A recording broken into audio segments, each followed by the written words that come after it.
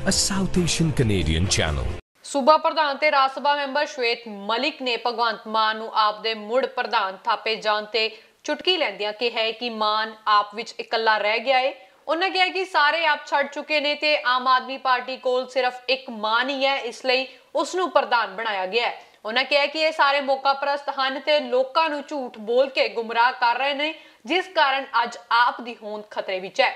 ਇਸ ਦੇ ਨਾਲ ਹੀ ਸ਼ਵੇਤ ਮਲਿਕ ਨੇ ਮੁੱਖ ਮੰਤਰੀ ਪੰਜਾਬ ਕੈਪਟਨ ਅਮਰਿੰਦਰ ਸਿੰਘ ਅਤੇ ਸਥਾਨਕ ਸਰਕਾਰਾਂ ਬਾਰੇ ਮੰਤਰੀ ਨਵਜੋਤ ਸਿੰਘ ਸਿੱਧੂ ਨੂੰ ਖੁੱਲਾ ਚੈਲੰਜ ਦਿੰਦਿਆਂ ਕਿਹਾ ਕਿ ਆਪਣੇ ਸੰਸਦ ਮੈਂਬਰ ਵਜੋਂ ਕਾਰਜਕਾਲ ਤੇ ਪੰਜਾਬ ਸਰਕਾਰ ਦੇ ਕਾਰਜਕਾਲ ਦਾ ਰਿਪੋਰਟ ਕਾਰਡ ਪੇਸ਼ ਕਰਨ ਲਈ ਕਿਹਾ ਮਲਿਕ ਨੇ ਕਿਹਾ ਕਿ ਨਵਜੋਤ ਸਿੰਘ ਸਿੱਧੂ ਤੇ ਕੈਪਟਨ ਨੇ 14 ਸਾਲ ਦੇ ਕਾਰਜਕਾਲ ਵਿੱਚ ਅੰਮ੍ਰਿਤਸਰ ਦੇ ਵਿਕਾਸ ਦੇ ਝੂਠੇ ਵਾਅਦੇ ਕਰਕੇ ਜਨਤਾ ਨੂੰ ਧੋਖਾ ਦਿੱਤਾ ਹੈ। ਜਦਕਿ ਮੈਂ ਆਪਣੀ 2.5 ਸਾਲ ਦੇ ਕਾਰਜਕਾਲ ਵਿੱਚ ਸੰਸਦ ਮੈਂਬਰ ਵਜੋਂ ਆਪਣਾ ਰਿਪੋਰਟ ਕਾਰਡ ਦੇ ਰਿਹਾ। ਤੇ ਜੇਕਰ ਸਿੱਧੂ ਅਤੇ ਕੈਪਟਨ ਵਿੱਚ ਹਿੰਮਤ ਹੈ, ਤਾਂ ਆਪਣਾ ਰਿਪੋਰਟ ਕਾਰਡ ਪੇਸ਼ ਕਰਨ। ਜਦਕਿ ਕਾਂਗਰਸ ਹਮੇਸ਼ਾ ਜਨਤਾ ਤੋਂ ਭਗੌੜਾ ਰਹਿੰਦੀ ਹੈ।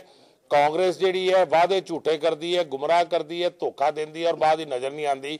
ਮੈਂ ਚੈਲੰਜ ਦਿੱਤਾ ਹੈ ਕਿ ਇਸ ਅੰਮ੍ਰਿਤਸਰ ਸਾਹਿਬ ਦੇ ਵਿੱਚ 10 ਸਾਲ ਨਵਜੋਤ ਸਿੰਘ ਸਿੱਧੂ ਸੰਸਦ ਰਹੇ। ਅੱਜ ਮੇਰੀ ਅਟੈਂਡੈਂਸ ਪਾਰਲੀਮੈਂਟ ਵਿੱਚ ਹੈ 90% ਤੋਂ ਉੱਪਰ ਹੈ। ਅਮਰਿੰਦਰ ਸਿੰਘ ਜੀ ਦੀ ਅਟੈਂਡੈਂਸ 6% ਰਹੀ, ਨਵਜੋਤ ਸਿੰਘ ਸਿੱਧੂ ਦੀ 23% ਰਹੀ। ਇਹਨਾਂ ਨੂੰ ਲੋਕਾਂ ਨੇ ਚੁਣ ਕੇ ਪਾਰਲੀਮੈਂਟ ਵਿੱਚ ਉਹਨਾਂ ਦੇ ਹੱਕਾਂ ਦੀ ਲੜਾਈ ਲੜਨ ਭੇਜਿਆ ਸੀ। ਮੈਂ ਚੈਲੰਜ ਦਿੱਤਾ ਅੱਜ ਕਿ ਮੈਂ ਰਿਪੋਰਟ ਕਾਰਡ ਦਿੱਤਾ ਹੈ ਕਿ ਮੈਂ ਸ਼ਾਨਦਾਰ ਡਿਵੈਲਪਮੈਂਟ ਕਰਾਈ ਹੈ ਅੰਮ੍ਰਿਤਸਰ ਇੰਟਰਨੈਸ਼ਨਲ 에ਅਰਪੋਰਟ ਦੀ।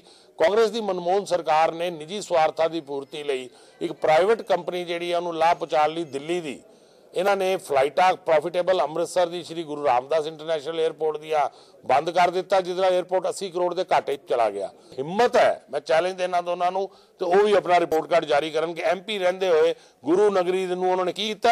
ਔਰ ਜੇ ਉਹਨਾਂ ਨੇ ਨਹੀਂ ਕੀਤਾ, ਤੇ ਗੁਰੂ ਨਗਰੀ 'ਚ ਦਰਬਾਰ ਸਾਹਿਬ, ਹਰਮੰਦਰ ਸਾਹਿਬ ਜਾ ਕੇ ਔਰ ਗੁਰੂ ਨਗਰੀ ਦੇ ਪਿਆਰੇ ਵਾਸੀਆਂ ਤੋਂ ਮਾਫੀ ਮੰਗਣਾ ਲੋਕ ਸਭਾ ਸੀਟਾਂ ਤੇ ਇਹਨਾਂ ਨੂੰ ਸਖਤ ਸਜ਼ਾ ਮਿਲੇਗੀ ਔਰ ਬੀਜੇਪੀ ਔਰ ਸ਼੍ਰੋਮਣੀ ਅਕਾਲੀ ਦਲ ਦੇ ਜਿਹੜੇ ਕੈਂਡੀਡੇਟਸ ਨੇ ਉਹ ਸਫਲ ਹੋਣਗੇ। A South Asian Canadian channel.